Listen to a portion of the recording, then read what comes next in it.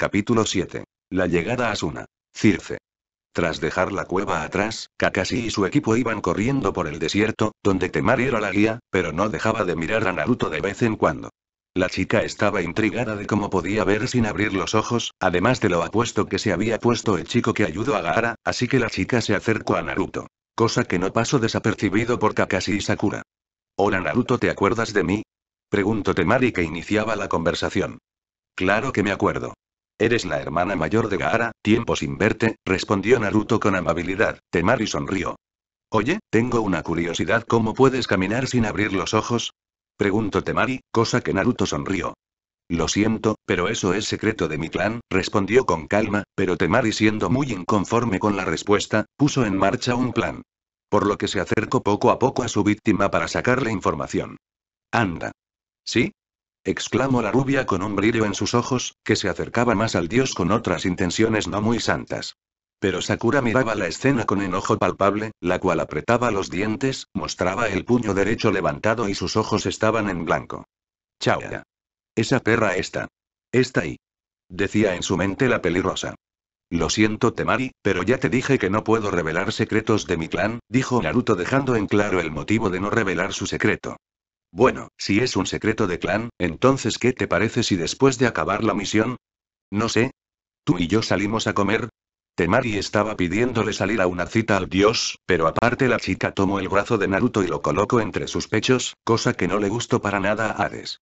Mientras que Sakura tenía apretado los dientes, los ojos en blanco y la mano levantada formando su puño. Maldita rubia oxigenada. Él es sí.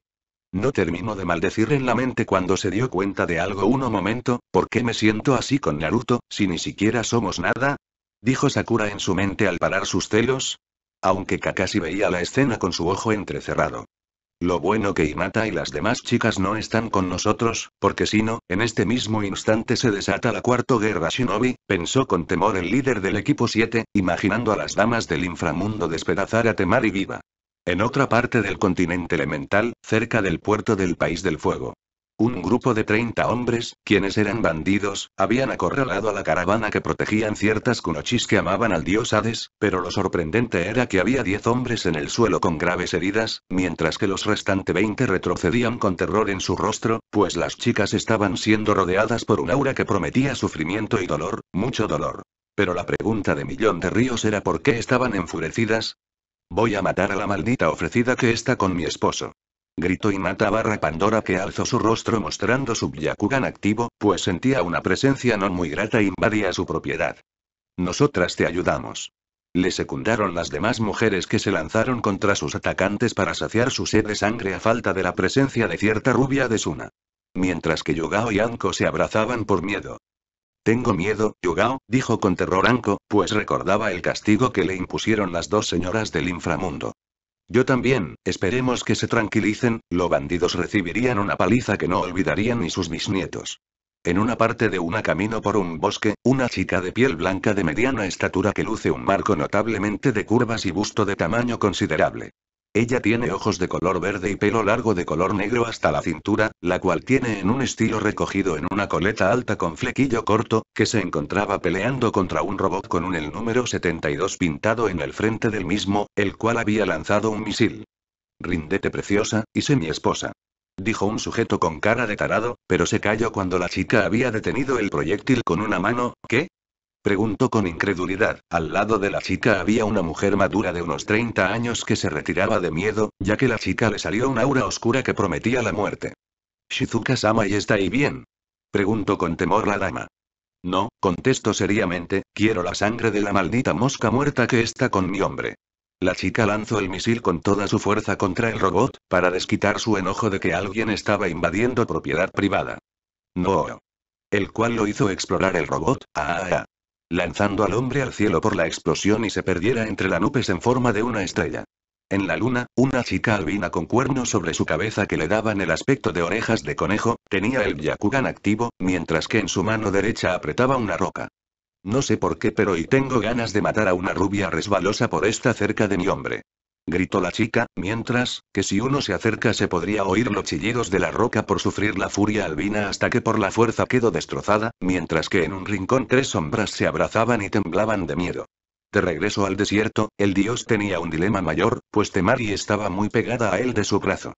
Naruto intentaba despegarse de Temari desde que lo abrazó, pero ella se pegaba más como calcomanía, mientras que la rubia solo sonreía como colegiala enamorada.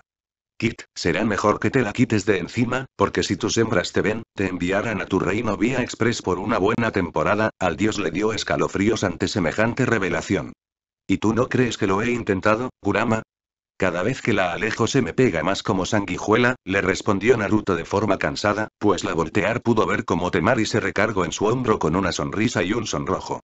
Pues no lo creo, es más, parece que estás disfrutando cierta anatomía de la chica, dijo Kurama refiriéndose a su brazo apresado entre los pechos de Temari.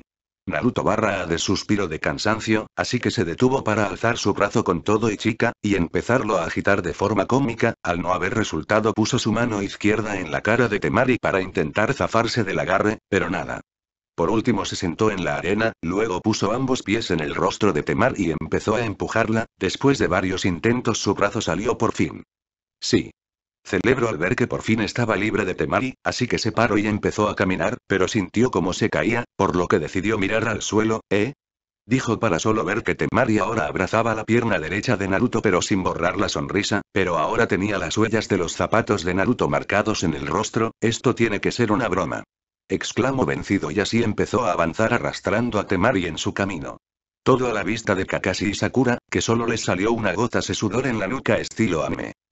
Yo pensaba que Ino era obsesiva con Naruto, para que saliera una loca peor que ella, Sakura tenía los ojos entrecerrados, luego sopló el viento y le desacomodó un poco el cabello.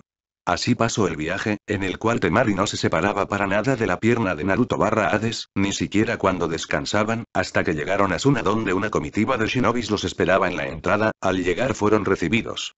¿Ustedes son los shinobis que mando Konoha? Preguntó Baki. Así es, respondió Kakashi recibimos un mensaje de emergencia, Baki asintió. Bien, entonces sí, iba a continuar el Sunanin, pero miro algo que lo dejo extrañado al igual que a los de Suna. Y era ver a Temari aferrada a la pierna de Naruto, ¿qué demonios? Preguntó muy sorprendido el sensei del equipo de Gaara, que tenía los ojos muy abiertos. Créanos, también estamos como ustedes, dijo Kakashi que veía a su discípulo quitarse a la chica de su pierna. Sakura ayudaba a quitarse a Temari de encima. ¿Cómo rayos una humana tiene tanta fuerza como para no quitármela de encima? Pensó el dios cansado y desesperado. Naruto, será mejor que te liberes de Temario y Nata y las demás te hará pulpa, comentó Kakashi con algo de temor. Sin embargo ocurrió una reacción que nadie se esperaba. Temari al escuchar el nombre de Inata y otras chicas, se paró de inmediato. ¿Quiénes son esas zorras arrastradas que me quieren quitar a mi hombre? Preguntó muy enojada, luego vio a Naruto y lo encaró, dime. ¿Quiénes son esas lambisconas? Exigió la rubia con abanico en mano. El dios estaba en un gran dilema, decirle que son sus novias y ser apaleado por Temario no y ser torturado por las chicas incluso en el inframundo. Así que tomó la más sabia decisión. Pues ellas son mis novias, respondió Naruto barra Hades con sinceridad a medias, Temari quedó en shock, que poco a poco se iba desvaneciendo y en su lugar mostraba una mueca de ira que haría orgullosa Era ante la infidelidad. Temari abrió su abanico listo para golpearlo. Maldito infeliz desgraciado, infiel. Con estas palabras, Temari tomó vuelo golpeó a Naruto. Ah, ah. El dios salió despedido por los aires por el tremendo golpe. Fiu. ¿Qué golpe? De seguro anota Omerun, aunque no sé lo que signifique eso, dijo Kakashi que miraba a dónde lo mandaron a volar, el dios voló por todos una, hasta que al final aterrizó al otro lado de la aldea, creando un pequeño cráter. Oh, se quejó el dios todo magullado. En la entrada de la aldea, estaban aterrados todos los hombres de Suna de Temari por la forma en que golpeó a Naruto, todos los hombres son iguales, una les da amor, y ellos simplemente juega con nuestros sentimientos MPH. Así la chica entró a la aldea muy indignada de que el dios solo estuvo, según ella, jugando con sus sentimientos. Dentro de la aldea de Suna, el equipo 7 iba acompañado de las personas que los habían esperado en la entrada, junto a ellos iba Naruto barra Hades quien iba sobándose la cabeza por el tremendo golpe que le dio Temari. Oh, ¿Y ahora por qué me pegaste Temari? Preguntó Naruto, Temari, quien iba frente a ellos guiándolos hacia la torre del casecaje, se giró sobre sus propios talones y nuevamente encaró a Hades. ¿Por qué? Mira que tienes la desfachatez de preguntar por qué, increpo mientras ponía sus manos en la cadera, eres un maldito infiel desgraciado. Acusó la rubia a Naruto que se quedó en shock por lo dicho y con los ojos, bueno, solo estaba en shock por esa acusación. ¿Qué? Pero nosotros ni siquiera nos conocemos, se defendió el dios de dicha calumnia. Es más, tú fuiste la que empezó todo, señaló el dios, cosa que hizo que Temari hiciera a un lado el rostro de vergüenza. Bueno sí, pero nunca me dijiste que tenías novia, Temari ahora trataba de justificar su acción, aunque era evidente que no tenía argumento para defenderse. Nunca le preguntaste, ahora lo defendía Sakura es más, tú te aprovechaste de él cuando intentabas saber cómo podía ver sin abrir los ojos, recalcó Sakura el origen del pleito, G, G, G, bueno y si este, la chica trataba de buscar las palabras correctas, bueno, si ya. Además el intento seducirme, cuando soy muy recatada, respondió Temari, dejando de piedra a Naruto. ¿Qué? ¿Acaso me confundió con el idiota de mi hermano Zeus? Preguntó en su mente Naruto barra Hades al sentirse identificado por su hermano menor. Es suficiente. Exclamó Baki para calmar la situación. Lo importante es la seguridad del Kasekaje. Ante las palabras de Baki, las cosas tomaron otro giro. ¿Cómo fue que secuestraron al Kasekaje? Indagó Kakashi sobre el modo en que fue sustraído el caje de aldea. Ayer por la noche, se suscitaron una serie de atentados en varias partes de la aldea. Algunos de nuestros hombres fueron vencidos y hubo varias explosiones, describía los hechos Baki a Kakashi. El objetivo del enemigo era distraernos para dejar al Kasekaje solo, dijo Baki. Gaara-sama estaban en su oficina cuando los hechos se suscitaron, por lo que salió de inmediato y enfrentó al enemigo que volaba en un ave. En un principio Gaara-sama estaba controlando la situación, pero el enemigo usó jutsus explosivos, los cuales dejaron fuera de combate al Kasekaje, cosa que aprovechó su atacante para llevárselo, narró Matsuri con tristeza. Gaara, nombró a su amigo Naruto en su mente, mientras apretaba sus manos. ¿Conocen quiénes son sus atacantes? Nuevamente preguntó Kakashi para tener mayor información.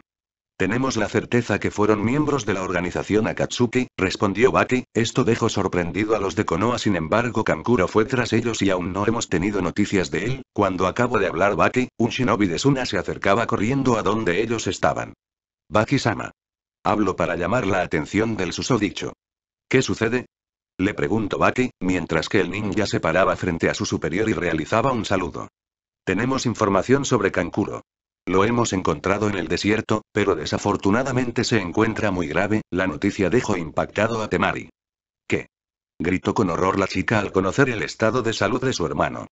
Un equipo de búsqueda lo localizó a unos kilómetros de aquí, parece que se enfrentó a los secuestradores del Kasekaje, dejándolo en muy mal estado. En estos momentos se encuentra en el hospital siendo atendido por los médicos, al escuchar el estado de su hermano, Temari salió corriendo hacia el hospital. Vayamos, Baki fue guiando al equipo 7 hasta donde estaba el hospital, cuando llegaron al sitio, ingresaron de inmediato a la habitación donde se encontraba Kankuro. En ese instante los médicos estaban intentando tranquilizar a Kankuro, quien sufría dolor intenso en el cuerpo y sudaba en abundancia. ¡Ah! ah. Kankuro gritaba por el dolor muscular, mientras era sujetado a la cama por los médicos para que no se moviera, mientras otros lo examinaban para saber el origen de sus dolores y su sudoración. Kankuro-sama empeora a cada instante, dijo uno de los médicos que le limpiaba el sudor por la fiebre elevada y el dolor. ¿Qué han descubierto? preguntó otro médico. Kankuro fue envenenado por una sustancia desconocida, no hemos podido identificar el tipo de veneno. Necesitamos a alguien que tenga conocimientos en esta área, respondió uno de los médicos que tenía un informe en sus manos. Entonces será que traigan a Chiyo-sama en este instante, ordenó el médico que trataba a Kankuro, por lo que uno de los Medinin salió en busca de la mencionada Chiyo. En ese instante Temari entraba a la habitación donde estaba su hermano.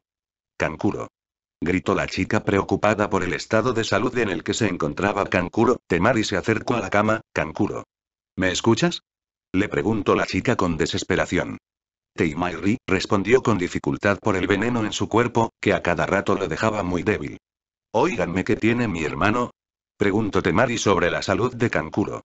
Kankuro está envenenado por una sustancia desconocida, dio el diagnóstico el médico quien traía una tabla con los síntomas. ¿Qué?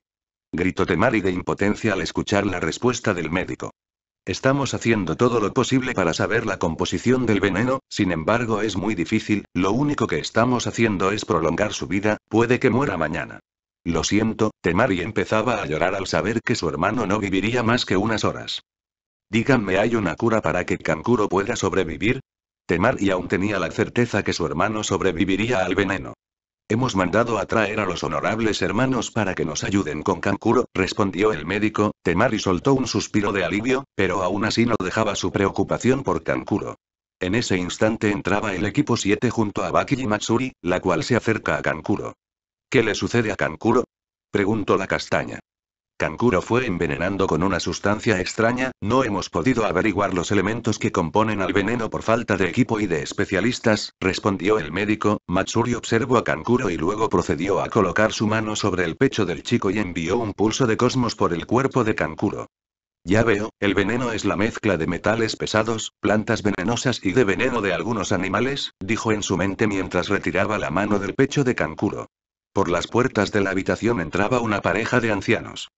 ¿Para qué nos han mandado a llamar? preguntó el hombre. Honorables hermanos de la arena, dijo con actitud de respeto a Baki hacia ambos hermanos los hemos mandado a traer para que nos ayuden con Kankuro, se dirigió Baki a los hermanos, la mujer lo veía con seriedad. ¿Qué le sucede al Gaki? expresó la mujer un poco molesta. Chiyo-sama, Kankuro fue envenenado y lamentablemente no hemos encontrado los elementos que componen al veneno, y ustedes son los únicos que pueden ayudarnos, dijo con desesperación el Medinin, Chiyo fue a observar a Kankuro. Los ninjas médico de ahora no saben nada, lo siento, pero no puedo ayudarlo. Para eso se necesitaría una que estuviera una experta en medicina y esa sería, aunque lo reconozco, la princesa de las babosas, Tsunade, los presentes se mantuvieron en silencio después de saber que no tenían ayuda. Pero chilló Sama y, Temar y iba a reclamar, pero la anciana la detuvo. Sé lo que vas a decir, soy experta en realizar venenos, pero no tengo el conocimiento de cómo contrarrestarlo. Y como dije la única que puede hacerlo es Tsunade, comentó Chillo, dejando más angustiada a Temari por la salud de su hermano. No se preocupe, yo puedo ayudar, se hizo notar Sakura llamando la atención a la anciana. Chillo al verla le preguntó. ¿Y tú quién eres muchacha? Chillo se le quedó viendo a Sakura. Mi nombre es Sakura Haruo y soy una de las discípulas de Tsunade, le respondió Sakura con seguridad, Chiyo se quedó asombrada. ¿Eres una de las discípulas de la princesa de las babosas? Chiyo no sabía qué responder, pues frente a ellos tenía a una prometedora discípula de Tsunade. Así es, y no soy la única, de hecho somos cuatro alumnas, pero dejemos eso para después, lo importante es Kankuro, Chiyo estaba muy sorprendida de que una alumna de Tsunade esté presente, luego la anciana dirigió su vista al resto del equipo 7. Primero al dios mayor, luego a Kakashi. Sin embargo con Kakashi tuvo una reacción no muy buena sobre él, tú. Señaló Chiyo muy furiosa a Kakashi. ¿Quién? Yo. Se señaló a sí mismo el Copinin. Tú eres el colmillo blanco, aquel que mató a mi hijo y a mi nuera. Ahora voy a tomar venganza, chilló se abalanzó contra Kakashi que estaba anonadado de la reacción de la anciana. Espere. Yo no soy I. Sin embargo, no terminó de explicar pues tuvo que esquivar un golpe de Chillo, mientras todos veía cómo se suscitaba la situación. Hermana Chillo. Detente. Le gritó el anciano, pero Chillo hizo caso omiso a su hermano y siguió atacando a Kakashi. Muere colmillo blanco. Gritaba Chillo mientras lanzaba golpes a Kakashi, que hacía lo posible para esquivarlo y no golpear a Chillo. Señora, por favor. Kakashi trataba de hacer entrar en razón a la anciana. Cállate colmillo blanco. Chillo no dejaba dar explicaciones de la situación. Hasta que Naruto tuvo que intervenir, el chico desvió los golpes con sus palmas y parar otros ataques con sus manos. Tranquilízate abuela, dijo el dios con calma, Chillo vio como Naruto había desviado los ataques. ¿Y tú quién eres? Preguntó Chiyo que había retrocedido por la presencia de Naruto. Mi nombre es Naruto Uzumaki, e intervine porque él es Kakashi, no el colmillo blanco, respondió Naruto barra Hades. Es cierto lo que dice el chico, míralo bien, afirmó el anciano a las palabras de Naruto. ¿Eh? Chiyo observaba a Kakashi con detenimiento, que solo saludaba. ¿Ves? Aunque se parezca, él murió hace años, dijo el anciano, Chiyo no despegaba su mirada de Kakashi y veía que, efectivamente, se parecía al colmillo blanco en fisionomía, pero no era él. Recuerda cómo te pusiste cuando te enteraste de la muerte del colmillo blanco, Kakashi seguía saludando. Hola, ¿qué tal? dijo con su ojito sonriente. Oh bueno. Cualquiera puede confundirse, je, je, je, je, la anciana reía por su descuido sacándole gotas de sudor tipo anime a los demás. Disculpen a mi hermana, le gusta hacer bromas, se disculpó el anciano, que solo suspiraba por las ocurrencias de Chillo. Bueno, ¿ya resuelto el percance de dónde son? Preguntó Chillo. Son los ninjas que mando Konoha para el rescate del Kasekaje y traerlo de vuelta a la aldea, respondió Baki. Vaya, ahora Dependemos de otra aldea por no tener mejor condicionamiento de nuestros shinobis, se quejó Chillo, la anciana iba a seguir hablando cuando Kankuro se quejó de dolor, llamando la atención de Sakura. Debo de actuar rápido, Sakura fue corriendo a donde estaba Kankuro, ella tomó su cabello y lo ató a una cola de caballo alta, luego procedió a auscultarlo y observarlo para conocer los signos causados por el veneno, pronto. Traigan lo que requiero. Exclamó la pelirrosa, pues el estado de salud de Kankuro empeoraba a cada momento. Hagan lo que la chica pida, ordenó el sensei, los médicos y asistentes se acercaron a Sakura para escuchar las indicaciones. Requiero y, Sakura iba diciendo lo que necesitaba para tratar a Kankuro, los médicos se retiraban a realizar lo pedido por Sakura, mientras seguía observando y tomando pulso al shinobi, mirando las pupilas y otras observaciones en el cuerpo de Kankuro. Poco a poco iban llegando los médicos con el material necesario. En un recipiente, Sakura prepara un suero que usaría en Kankuro para extraer el veneno. Con esto sacaré el veneno de su cuerpo, sosténgalo bien. Los médicos tomaron con firmeza los pies y manos de Kankuro. En ese momento Sakura tomó una esfera del líquido, para acercarlo a la piel del chico, quien gritó por el dolor, pero los médicos del sitio lo inmovilizaron para que Sakura hiciera el procedimiento, luego introdujo al cuerpo de Kankuro. ¡Ah! ah. Kankuro gritaba y se movía por la sensación dolorosa de la extracción del veneno. Sujétenlo con fuerza. Los Medinin hicieron lo dicho por la pelirrosa mientras realizaba el tratamiento. Debo de sacar la mayor cantidad de veneno y así poder examinarlo. Cabe destacar que cuando sacaba la esfera de agua, en su interior tenía un líquido negro en forma de burbujas más pequeñas. Luego saco la esfera por completo y la dejo en el recipiente. Necesito más. Un médico sustituyó el recipiente con suero limpio que Sakura tomó y procedió a realizar el mismo procedimiento en Kankuro. Después de dos arduas horas de extracción del agente extraño en el cuerpo de Kankuro, Sakura se limpió el sudor de su frente y suspiró de cansancio pero con satisfacción de su trabajo ya saqué la mayor parte del veneno del cuerpo de Kankuro, en las bandejas se veía el veneno en el interior del suero necesito algunas cosas para preparar el antídoto, dijo Sakura, Chiyo observaba a Sakura en acción. En realidad es una de las alumnas de Tsunade, pensó con sorpresa Chiyo al ver las habilidades de Sakura aprendidas de Tsunade. También necesito algunas plantas, Sakura realiza una lista de plantas a usar en la elaboración del antídoto. Yo puedo llevarla al invernadero, dijo Matsuri girándose como voluntaria. Ahí podrás usar las plantas que quieras para el antídoto. Sakura sonrió por el apoyo de la castaña. De acuerdo Matsuri, acompáñala, así ambas chicas fueron al invernadero para realizar el medicamento para Kankuro.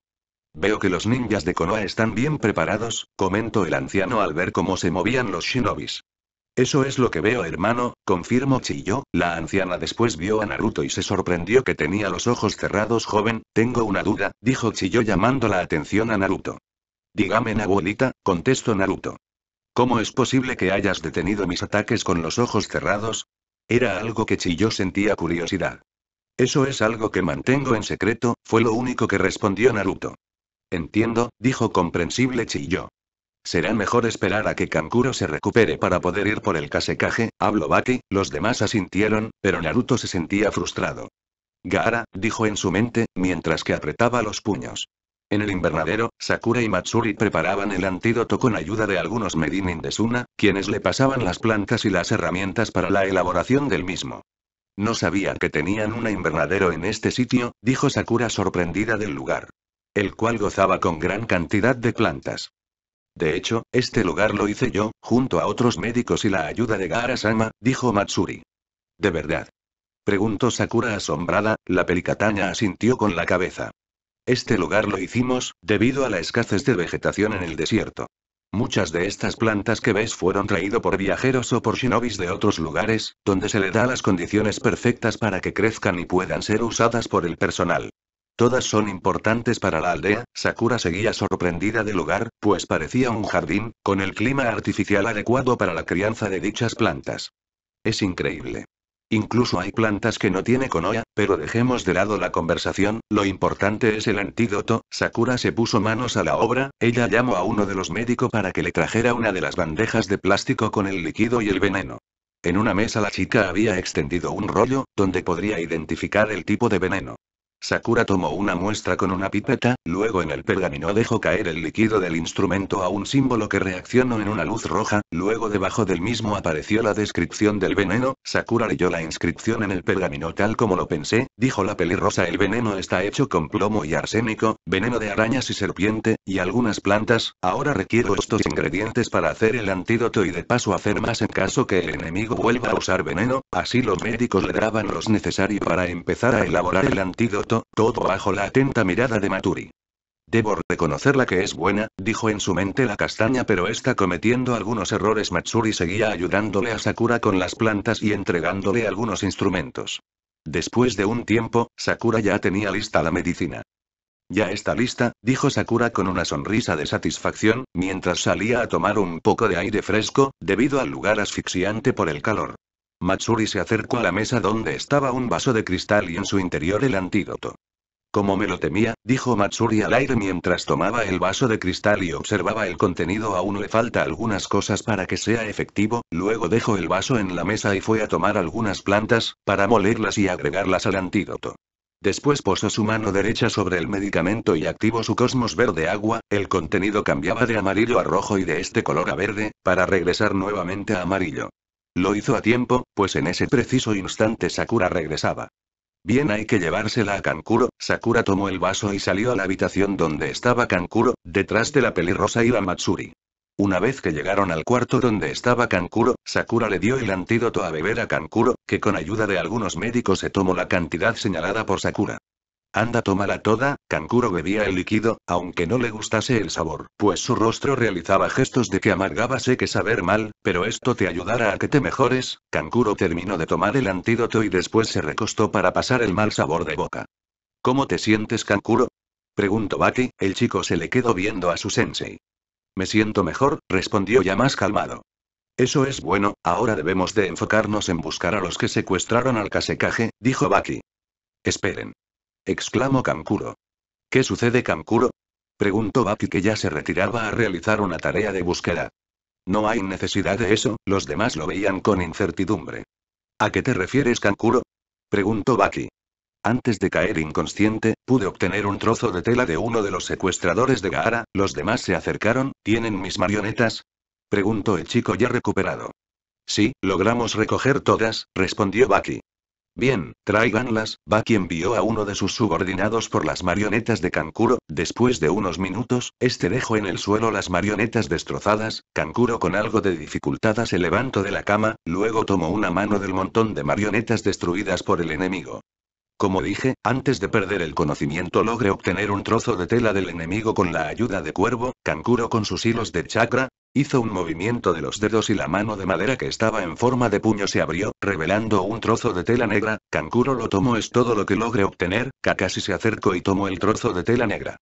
Con esto basta, dijo para después morderse el pulgar de mano izquierda, colocar sangre en la palma de la mano derecha y hacer sellos, jutsu de invocación.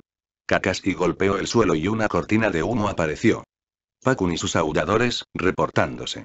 Dijo Pakun que estaba sobre la cabeza de un perro más grande. Buena entrada Pakun, dijo Naruto con una sonrisa. El perro vio al chico y lo reconoció de inmediato. Hola Naruto. Tiempo sin verte, saludo el pequines con amabilidad. Sí, ha sido un gran tiempo, respondió Naruto. Dejemos los saludos para después, dijo Kakashi, que acercó el trozo de tela a sus perros Paku, necesito que tú y los demás busque el rastro de esta persona, los perros se acercaron a la tela y la empezaron a olfatear la tela para captar el olor de los secuestradores de Gaara. Lo tenemos, en cuanto lo encontremos le estaremos informando, vamos. Así Pakun y los demás salieron en búsqueda de la Katsuki, mientras los demás esperaban a Pakun con noticias. Ahora es solo cuestión de esperar, dijo Kakashi. Será mejor descansar y prepararnos para mañana. Con esto último, Kakashi y su equipo salió del hospital.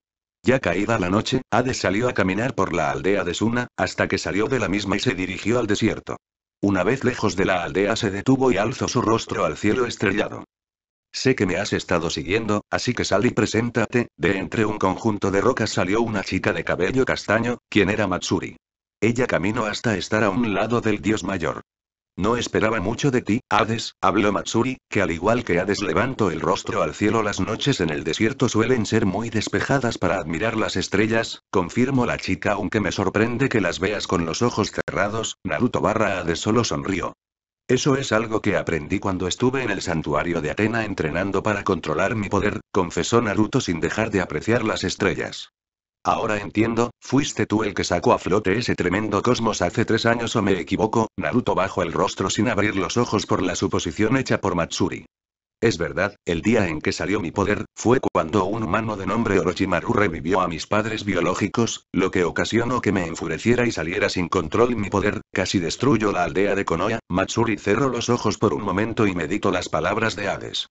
Entiendo, Matsuri abrió los ojos, y supongo que a raíz de eso fuiste con Atena y con tu hermano Poseidón para poder controlar tu poder.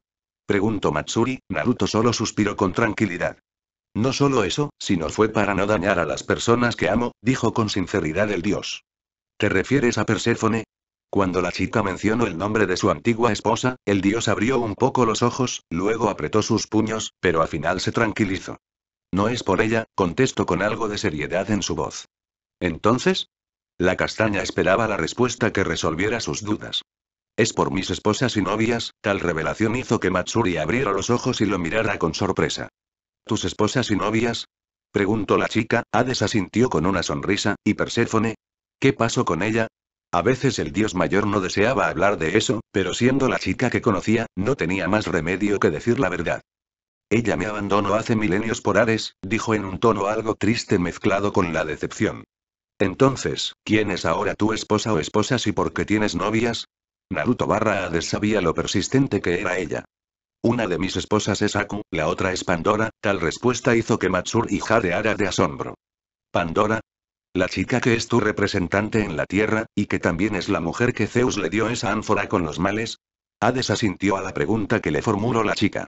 Sí, el hecho que tenga dos esposas y tres novias, se debe a que soy el último varón del clan Uzumaki, por lo que estoy dentro del LRC, reveló Naruto, Matsuri comprendió bien la situación. Entonces los rumores eran ciertos, comentó la chica.